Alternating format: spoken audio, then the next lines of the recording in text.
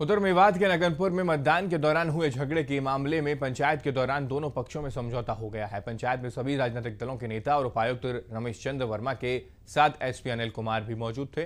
पंचायत के दौरान दोनों पक्षों ने अपनी गलती भी मान ली। समझौते के बाद इलाके में खुशी का माहौल बना हुआ है। मामले में समझौता होने के बाद उपायुक्त और एसपी ने पुरहाना के बाज़ार भी खुलवा दिए उन्होंने हमें पैदा किया है। और कपूर कपूर साहब आए।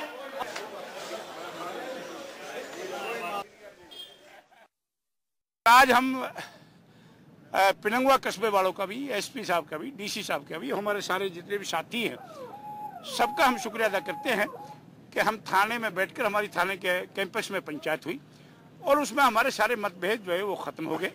और अलबत्ता कोई दुष् जहाँ तक एक्ट की बात थी। एक्ट पहले भी नहीं था। वो तो सिर्फ़ लोगों को एक अंदेशा था कि देहात के लोग जाएँगे तो कहीं दोबारा कोई घटना अप्रिय घटना ना हो जाए। इसलिए अब बाज़ार वालों ने, हमने सबने बैठ के फैसला किया है।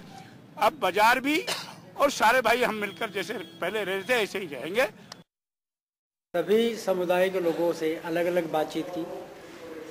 भाईचारा बनाने की, उनसे अपील की, प्रार्थना की।